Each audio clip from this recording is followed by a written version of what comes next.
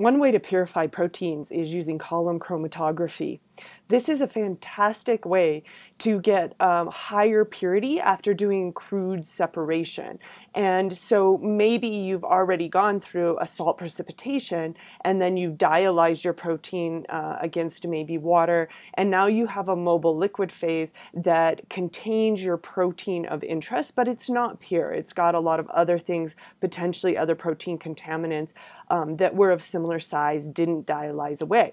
So what you can do is take your um, protein containing mobile liquid phase and pass it over an insoluble resin that you've packed this column with this resin and there will be a certain interaction between the protein of interest and your insoluble resin. Maybe it will be dictated by some sort of charge-charge interaction or maybe by a size interaction.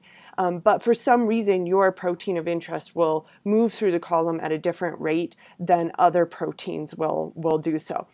And you can monitor this by then watching the um, readings as the proteins drip off of the, the column. So you will monitor the um, wavelength absorbance at 280 nanometers. And because we know that tryptophan, tyrosine, those uh, amino acids will, will absorb light at um, 280 nanometers, we can look for the elution of the protein of interest.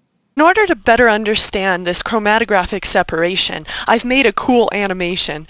What we see in this picture is similar to what we were looking at before, only I've shown that we've added the protein mixture to the mobile phase. So the protein mixture is going to pass through the column interacting with the stationary phase along with the mobile phase. Within this protein mixture, we're going to assume that there are some proteins that pass through the column faster and that our protein of interest passes through the column very slowly. So as this separation takes place, we're going to watch as the protein mixture separates and as the eluate is measured for A280 readings. So keep up for the changes as we hit play and run through this animation.